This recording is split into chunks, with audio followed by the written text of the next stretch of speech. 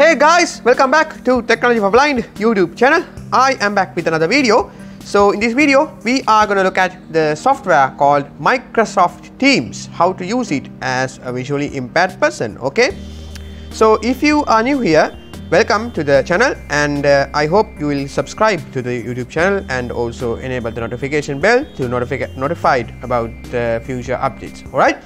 So with that being said, let's get started in the video. Now, Microsoft Teams is a kind of um, advanced software.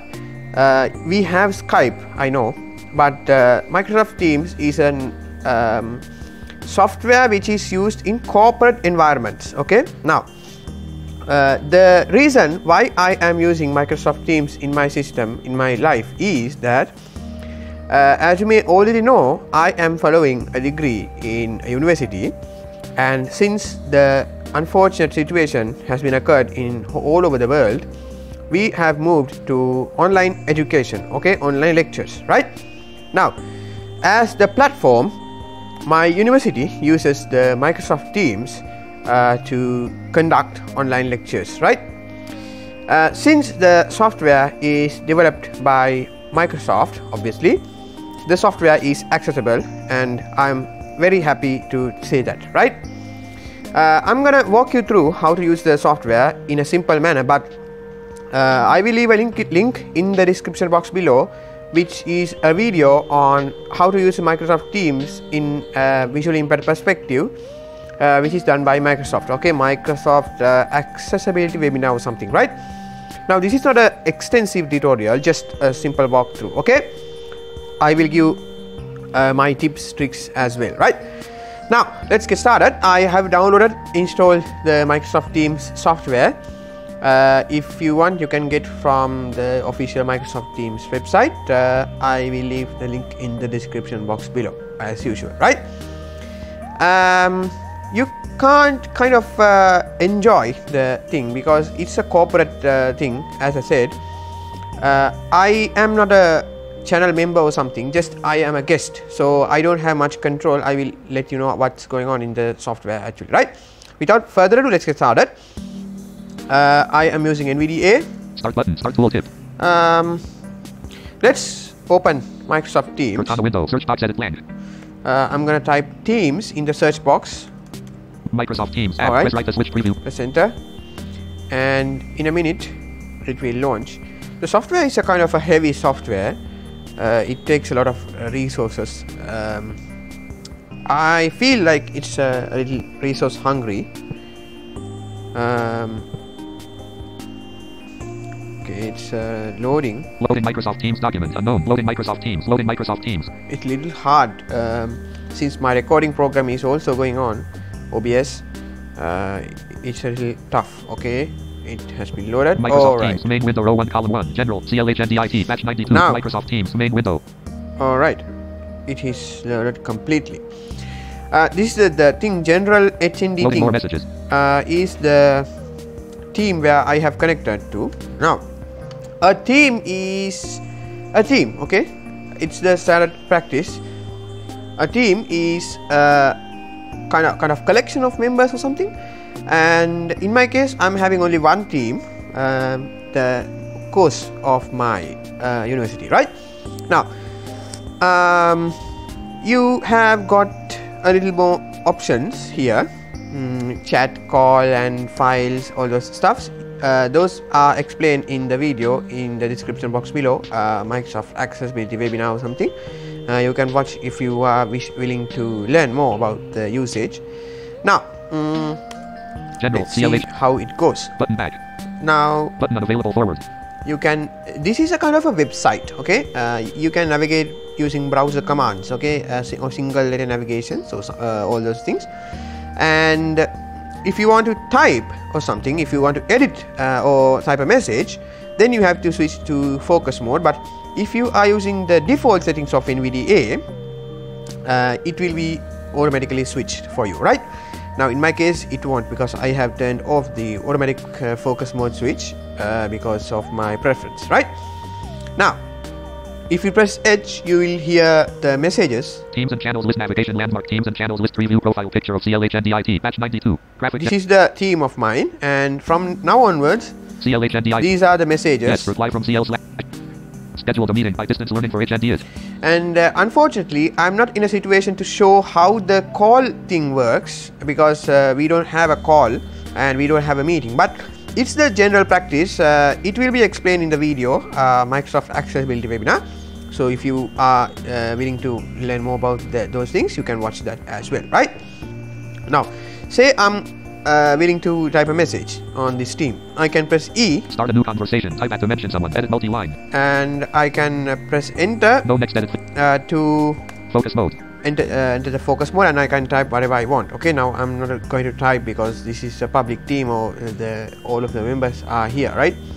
Now, uh, let's get back from the focus mode by pressing uh, NVDA plus space. browse mode Now, um, even though, let me uh, explain it that mm, this is a kind of a tip of mine, okay?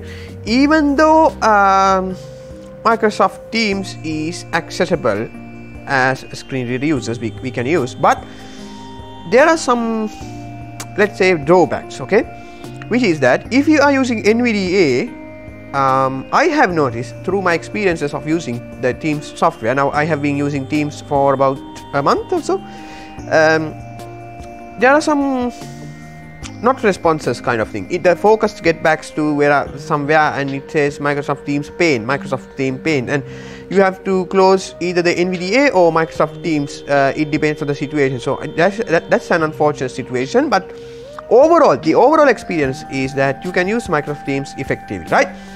Now, I have turned on the dark mode, but uh, there is a light mode as well. Okay, mm, let's go to the top of the window by pressing Control Home out of edit button back button back, and if I go back, unavailable uh, it won't happen because uh, since I'm having only one team uh, connected, uh, it won't happen. I think.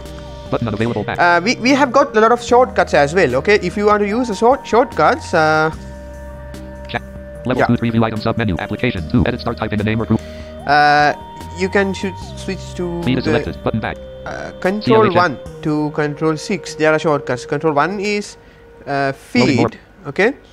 Uh, control 2 is let me see. Chat list navigation landmark. Chat, list and control 3 teams and channels list navigation. is teams and channel but uh, I'm having only one team. And control 4 is alert we can't get your files. We're working on getting. This is the files okay? Uh, let's say you have got a file from one of your team or something uh, this these will be uh, those will be uh, will be appeared in this section right? Now navigating from uh, like using themes is a standard thing as you may do with google chrome or something. Uh, don't worry about the things because those are very easy. And also there are extensive keyboard shortcuts available. Uh, say you want to mute the call mute the microphone of you you can press ctrl shift m m for mic and if you want to turn off the video you can press ctrl shift o um, so on and so forth right? Uh, if you want you can press control shift uh, sorry control shift period. Uh, sorry control period. General heading level 2 and you will get a extensive list of keyboard shortcuts which is used by Microsoft Teams right? So let's close this. Dial alert we can't get your files we're working and if you press control 5 you will get to let's see I think uh, bar use up or down arrow. control 4 is the maximum level. Right uh, there are some things calendar and other things but it's not available in my case right? But uh, most of the time it will be available and uh, in the free version of Microsoft Teams you can connect up to 300 participants as I have uh, seen in the official website of the software but uh, unfortunately we cannot do that because we have to have a I think a corporate account rather than a personal account as far as I'm concerned right? But uh, if you are using Microsoft Teams to uh, kind of get online lectures or if your university is using uh, Microsoft Teams or you um, planning to use Microsoft Teams in the future to conduct lectures online lectures or something uh, don't worry about that uh, because this is completely accessible and you can navigate through the software right? Now comparing to Microsoft Teams with NVDA, the experience with JAWS is more seamless because sometimes when it gets um, stuck or when it uh, uh, focuses out of the Teams uh, pane window something, mm, it's very hard because say you are in a uh, meeting. Uh, in my case, I have experienced a lot and I have suffered a lot because um, I am in a meeting and it gets stuck and if I want to send a message then it gets frustrated so yeah there are a lot of problems but uh, when it comes to JAWS it this won't happen because JAWS is more like an integrated thing uh, more seamless experience you can get more seamless experience when you're using uh, JAWS with Microsoft Teams right uh, let's see how the things things thing goes uh, with Microsoft Teams using JAWS, uh, I'm gonna turn on JAWS and JAWS Professional Files Microsoft Teams. alright. Uh, it seems my system is stuck because uh, since Microsoft Teams is using my resources and also my recording program is also using resources. Windows D. Folder view list view. Let me turn off the uh, reduce the speed a little. Sorry about Slower, that. slower, slower, slower, slower, slower. Fa- faster. Slower. Okay. Files Microsoft Teams. Files Windows up arrow. Uh, Windows right arrow. Windows up arrow. Files Microsoft Teams. Control 1. Pressed. Uh, Feed is selected. This is a feed. It's a kind of activity feed uh, where you can see what's General going CL. on uh, in your uh, teams. Okay, these are very simple messages. things, so you you don't have to worry about those things. Just you have to explore and see how it goes. And as I said, you have got a tutorial, an extensive tutorial about one hour long, uh, which kind of teaches how to use Microsoft Teams in a basic manner as a screen reader user. Okay so this is how you can use Microsoft Teams with screen readers and when it comes to JAWS the equivalent of uh, focus mode and browse mode is uh, virtual PC cursor you can turn on and turn off the virtual PC cursor by pressing insert plus Z respectively On. uh, in off. my case it don't it won't say virtual PC cursor because I have turned on the verbosity things and messed up with the settings uh, because of my prefer- preference but uh, if you are using the default settings of JAWS then obviously you will get uh, mm, virtual PC cursor thing right so this is how you can use Microsoft Teams. Um, this is a very quick tuto- tutorial because I don't ha- have to. I don't want to go in deep about using Microsoft Teams because this is a standard practice.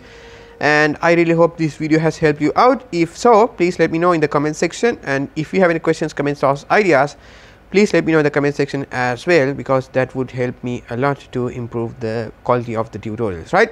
So with that being said, I'm going to sign out from now. Uh, thank you very much for watching, and I'll see you in the next video. Signing out, Mohomed Rashad.